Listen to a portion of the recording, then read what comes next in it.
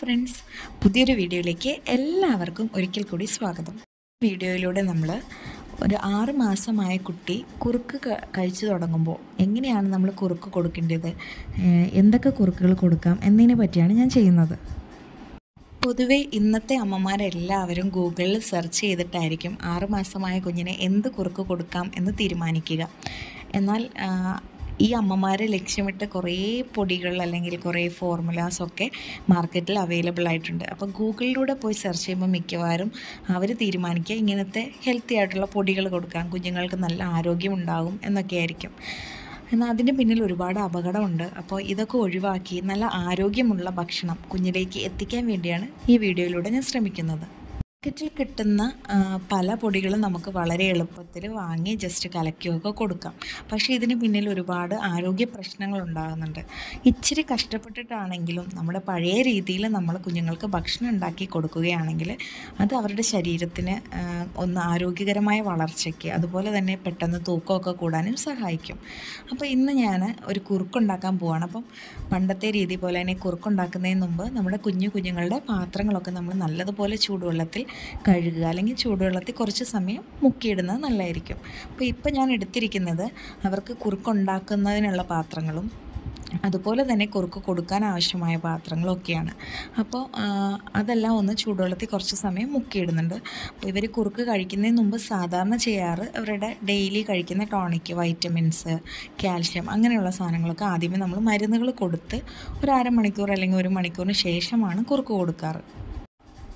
ആ മരുന്ന് കൊടുക്കാൻ ഉപയോഗിക്കുന്ന പാത്രങ്ങളും ഡ്രോപ്പറുകളും ഒക്കെ ഞാൻ ഇതുപോലെ തന്നെ ചൂടുവെള്ളത്തിൽ എല്ലാ ദിവസവും കഴുകി വൃത്തിയാക്കിയതിന് ശേഷമാണ് ഉപയോഗിക്കാറ്. അപ്പം ഈ കപ്പ് നമ്മൾ കുറച്ച് വെള്ളം കുറുക്കിന് ആവശ്യമായ വെള്ളം എടുത്തു വെക്കാൻ വേണ്ടിയുള്ളതാണ്. അപ്പോൾ ആദ്യം ആ കപ്പ് കഴുകി അതിന് ശേഷം ഒരു അര അല്ലെങ്കിൽ ഒരു മുക്കാൽ ഗ്ലാസ് ചൂടുവെള്ളം നമ്മൾ ഈ കപ്പിലൊഴിച്ച് മാറ്റി വയ്ക്കും ഇത് നമുക്ക് കുറുക്കിന്റെ പൊടി കലക്കിയെടുക്കാൻ ആവശ്യമായ വെള്ളം കേട്ടോ അപ്പോൾ ഇതിങ്ങനെ മാറ്റി വയ്ക്കുക ഇത് ചൂടാറിയിട്ട് ആണ് നമ്മൾ ഉപയോഗിക്കുക.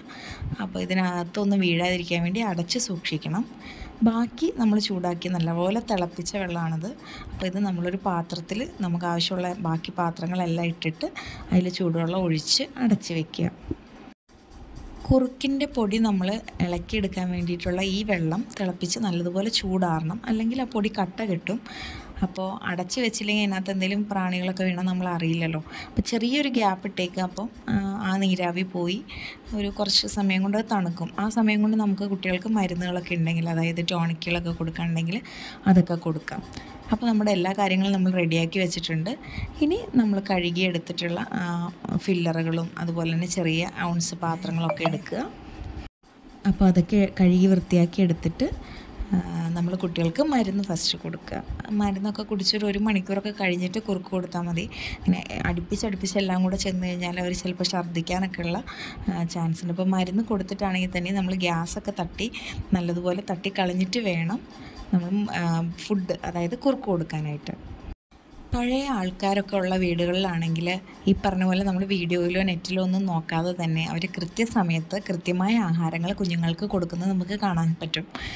അപ്പോൾ ഇന്നത്തെ വീഡിയോയിലൂടെ ഞാൻ കാണിക്കുന്നത് നേന്ത്രക്കായ ഉണക്കി പൊടിച്ച് അതുകൊണ്ടുണ്ടാക്കുന്ന കുറുക്കാണ്. അപ്പോൾ ഈ നേന്ത്രക്കായ എങ്ങനെയാണ് വീട്ടിൽ തന്നെ ഉണക്കി പൊടിച്ചത് എന്നുള്ളൊരു വീഡിയോ ഞാൻ ഇതിനു മുമ്പ് ചെയ്തിരുന്നു. അതിന്റെ ലിങ്ക് ഞാൻ ഡിസ്ക്രിപ്ഷൻ ബോക്സിൽ കൊടുക്കാം. കടയിൽ നിന്ന് ഉണക്കി പൊടിച്ച പൊടി വാങ്ങുമ്പോൾ നമുക്ക് എത്രമാത്രം അത് വിശ്വസിക്കാൻ പറ്റുമെന്ന് അറിയില്ല. അതുകൊണ്ട് തന്നെ നമ്മൾ വീട്ടിൽ തന്നെ കഴിവതും വാങ്ങി കായ വാങ്ങി ഉണക്കി പൊടിച്ചെടുക്കുക. അല്ലെങ്കിൽ വീട്ടിൽ നേന്ത്രക്കായ ഉണ്ടെങ്കിൽ അതായിരിക്കും ഒന്നുകൂടെ നല്ലത്. നമ്മൾ തന്നെ ശരിയാക്കി എടുക്കുക. അപ്പോൾ അതെങ്ങനെയാണ് ചെയ്യേണ്ടതെന്നുള്ളൊരു വീഡിയോ ഞാനിതിൽ കൊടുത്തിട്ടുണ്ട്. ചിലപ്പോൾ ഈ കുറുക്കുണ്ടാക്കാൻ ചിലപ്പോൾ ഒരു പ്രയാസമൊക്കെ നമുക്ക് തോന്നിയേക്കാം. ഇത്ര കഷ്ടപ്പെടണ്ടേ എന്നൊക്കെ എന്നാലും നമ്മുടെ കുട്ടികൾക്ക് ആരോഗ്യത്തോടു കൂടി ഇരിക്കണമെന്നുണ്ടെങ്കിൽ നല്ല രീതിയിൽ തന്നെ നമ്മൾ ഭക്ഷണം കൊടുക്കണം. അപ്പോൾ ഞാൻ ഒരു വീഡിയോയിൽ കാണിച്ചിരുന്നു. മധുരത്തിന് ഞാൻ ചേർക്കുന്നത് പനങ്കക്കണ്ടാണ് അപ്പോൾ അതും എങ്ങനെയാണ് തയ്യാറാക്കിയെന്നുള്ളൊരു വീഡിയോ ഞാൻ ചെയ്തിട്ടുണ്ട്.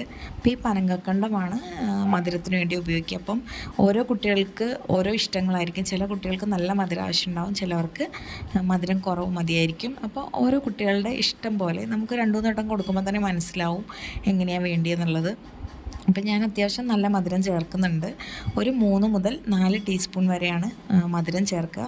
നമ്മൾ നേരത്തെ എടുത്തു വെച്ചിരുന്ന ആ വെള്ളം ചൂടാറിയിരിപ്പുണ്ട്. അപ്പോൾ അതിനകത്തേക്ക് നമ്മൾ ആവശ്യത്തിനുള്ള മധുരം ചേർത്ത് കൊടുക്കുക. അപ്പോൾ ഇത് അരിച്ചൊക്കെ വെച്ചിട്ടുള്ളതാണ്. എന്നാൽ തന്നെ നമുക്ക് ഒന്നുകൂടെ അരിക്കണം. പനങ്കക്കണ്ടത്തിന് പകരം വേണമെങ്കിൽ നമുക്ക് ശർക്കര ഉരുക്കിയെടുത്ത് സൂക്ഷിച്ചിട്ട് അത് ചേർത്ത് കൊടുക്കാം. പനങ്കക്കണ്ടം കുറച്ചുകൂടെ നല്ലതാണെന്ന് തോന്നുന്നു. ഇനി ഞാൻ എടുത്തിരിക്കുന്നത് നമ്മുടെ നേന്ത്രക്കായ വീട്ടിൽ തന്നെ ഉണക്കി പൊടിച്ചതാണ്. അപ്പോൾ ഈ പൊടിയിൽ നിന്ന് ഒരു ടേബിൾ സ്പൂണാണ് എടുക്കുന്നത്. അതായത് വലിയ സ്പൂൺ ഒരു സ്പൂൺ പൊടിയാണ് ഞാൻ എടുക്കുന്നത്. അപ്പം നനഞ്ഞ സ്പൂണ് നമ്മൾ പൊടിക്കാത്ത ഇടരുത്. നല്ല ഉണക്ക ഉണങ്ങിയ സ്പൂൺ കൊണ്ട് തന്നെ വേണം പൊടി എടുക്കാൻ. അതുപോലെ തന്നെ അധികം നേരം വായു കിടക്കാൻ പാടില്ല. പെട്ടെന്ന് പൊടി അഴുക്കായി പോകുന്ന ചാൻസ് ഉണ്ട്. അപ്പം പനക്കകണ്ടം നന്നായിട്ട് ഇളക്കി യോജിപ്പിച്ചിട്ടുണ്ട് വെള്ളത്തിൽ ഇനി നമ്മൾ എടുക്കുന്നത് നമ്മുടെ നേന്ത്രക്കായയുടെ പൊടി എടുത്തിട്ട് ഒരു വലിയ സ്പൂൺ നിറച്ചെടുത്തിട്ടുണ്ട്. അത് കുറേശ്ശെ ഇട്ട് കൊടുക്കുക. ഒരുമിച്ച് ഇട്ട് കഴിഞ്ഞാൽ കട്ട വരാനുള്ള ചാൻസ് ഉണ്ട്. നമ്മൾ ഇട്ട് കൊടുക്കുന്ന പൊടി അല്പം അല്പമാണല്ലോ ഇടുന്നത്. അത് അതിനകത്ത് നന്നായിട്ട് ഇളക്കി യോജിപ്പിച്ചിട്ടേ ബാക്കി ഇടാവുള്ളൂ. കുറച്ച് ഇട്ടിട്ട് നല്ലതുപോലെ ഇളക്കി അതായത് ആ വെള്ളത്തിൽ യോജിച്ചെന്ന് ഉറപ്പ് വന്നതിന് ശേഷം ബാക്കി പൊടി അങ്ങനെ മൊത്തത്തിൽ ഇളക്കിയെടുക്കുക. അപ്പോൾ ഇതിനകത്ത് നമുക്ക് വേറൊന്നും ചിന്തിക്കാനൊന്നുമില്ല. നമ്മൾ എടുക്കുന്ന പാത്രങ്ങളൊക്കെ വൃത്തിയായിരിക്കണം. നമ്മൾ ചെയ്യുന്ന ഇടമെല്ലാം നല്ല വൃത്തിയായിരിക്കണം. അതിന് ശേഷം ആ, വൃത്തിയാക്കിയ പാത്രത്തിലേക്ക് നമ്മൾ തിളപ്പിച്ചാറിയ വെള്ളത്തിൽ പനങ്കാക്കണ്ട ഇട്ട് കൊടുത്തു പൊടി ഇട്ട് കൊടുത്തു നല്ലപോലെ യോജിപ്പിച്ചെടുക്കുക. ഇത് മാത്രമാണ് ഇതിൽ ആവശ്യം. കുറുക്കിൽ വേണമെങ്കിൽ കുറച്ചുകൂടെ വെള്ളം ചേർക്കാം വെള്ളം കുറച്ച് കൂടുതൽ എടുത്താലും പ്രശ്നമൊന്നുമില്ല. അപ്പം ഓരോ കുട്ടികൾ കഴിക്കുന്ന ഒരളവിന് വേണം എടുക്കാൻ. ഒരുപാട് എടുത്തു കഴിഞ്ഞാൽ വേസ്റ്റായി പോവും. അപ്പോൾ കായപ്പൊടി ആകുമ്പോഴത്തേക്ക് നല്ലതുപോലെ വേവുകയും വേണം. അപ്പോൾ ഞാനിപ്പം എല്ലാം മിക്സ് ചെയ്ത് നല്ലതുപോലെ യോജിപ്പിച്ച് വെച്ചിട്ടുണ്ട്. ഇനി കുട്ടികളുടെ അരിപ്പ അവർക്ക് വേണ്ടി മാത്രം എടുക്കുക. നമ്മൾ എടുക്കുന്ന യാതൊരു പാത്രം അവർക്ക് എടുക്കാതിരിക്കുന്നതാണ് നല്ലത്. കാരണം എന്ന് വെച്ച് കഴിഞ്ഞാൽ എരിവിന്റെ അംശമോ മറ്റെന്തെങ്കിലുമൊക്കെ ഉണ്ടെങ്കിൽ അവർ കഴിക്കില്ല. അപ്പോൾ ഇനി നമുക്ക് ഈ പൊടി നല്ലതുപോലെ അരിച്ചെടുക്കാം. ഈ അരിക്കുന്നത് നിർബന്ധമൊന്നുമില്ല. കാരണം നമ്മളിത് പൊടിച്ചപ്പോൾ രണ്ടും ശർക്കര പൊടിച്ചപ്പോഴാണെങ്കിലും പന പനങ്കക്കണ്ടം പൊടിച്ചപ്പോഴാണെങ്കിലും കായ പൊടിച്ചപ്പോഴാണെങ്കിലും നല്ലതുപോലെ അരിച്ച് വൃത്തിയാക്കിയിട്ടാണ് എടുത്തത്. എന്നാലും ഒരു വട്ടം കൂടെ അരിച്ചെടുത്തിട്ടുണ്ട്. ഇനി ഇതിനകത്ത് വേണമെങ്കിൽ കുറച്ച് വെള്ളം ചേർക്കാം. ഞാനിപ്പോൾ വെള്ളം ചേർക്കുന്നില്ല.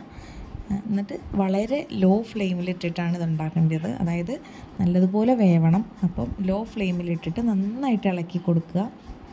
കൈ എടുക്കാതെ ഇളക്കണം. അല്ലെങ്കിൽ അടിക്ക് പിടിക്കാനുള്ള സാധ്യതയുണ്ട്. അപ്പം നല്ലതുപോലെ ഇളക്കി വെള്ളത്തിന്റെ അംശം കുറഞ്ഞ് കുറുക്ക് രൂപത്തിലാവണം.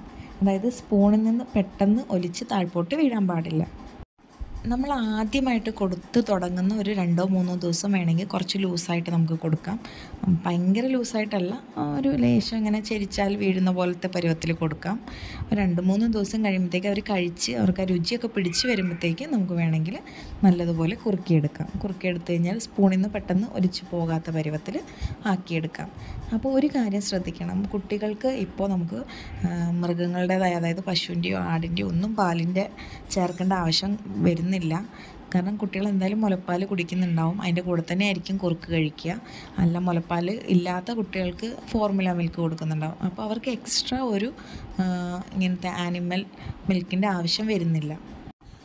പിന്നെ മറ്റൊരു കാര്യം എന്ന് പറയുന്നത് പഞ്ചസാര മാക്സിമം കുട്ടികൾക്ക് കൊടുക്കാതിരിക്കുന്നതാണ് നല്ലത്. പനങ്കൽക്കണ്ടം അല്ലെങ്കിൽ പന ശർക്കര അല്ലെങ്കിൽ നമ്മുടെ സാധാരണ ശർക്കരയൊക്കെ കൊടുക്കാം. അപ്പോൾ അതും നിർബന്ധമൊന്നുമില്ല. വളരെ ചെറിയ അളവിൽ കൊടുത്താലും കുഴപ്പമൊന്നുമില്ല. അപ്പോൾ ഇങ്ങനെ നമ്മൾ കുറുക്കുണ്ടാക്കിയിട്ട് ഒരു കുട്ടിക്ക് രണ്ട് ടേബിൾ സ്പൂണാണ് ആവശ്യം വരിക. അതിൽ കൂടുതൽ ഒരു ആറ് മാസം ഏഴ് മാസമുള്ള കുട്ടി കഴിക്കില്ല. അപ്പം ആ ആവശ്യത്തിനുള്ള കുറുക്കുണ്ടാക്കിയതിന് ശേഷം കൊടുക്കുക. അപ്പോൾ ഇങ്ങനെ കൊടുത്തു കഴിഞ്ഞാൽ ഇത് വളരെ ഹെൽത്തി ആയിട്ടുള്ള ഫുഡാണ് നമുക്ക് വളരെ എളുപ്പത്തിൽ വീട്ടിൽ തന്നെ ഉണ്ടാക്കാം. അപ്പോൾ എല്ലാവരും കുറുക്ക് തയ്യാറാക്കി നോക്കണം. ഇത് കൂടാണ്ട് ഞാൻ കുട്ടികൾക്ക് ആറാം മാസം മുതൽ കൊടുക്കുന്ന മറ്റു ഭക്ഷണങ്ങളും അടുത്ത വീഡിയോയിലൂടെ കാണിക്കുന്നതായിരിക്കും. വീഡിയോ നിങ്ങൾക്ക് എല്ലാവർക്കും ഇഷ്ടമായി എന്ന് കരുതുന്നു. വീണ്ടും നല്ലൊരു വീഡിയോയിലൂടെ കാണുന്നത് വരയ്ക്കും ബൈ ബൈ.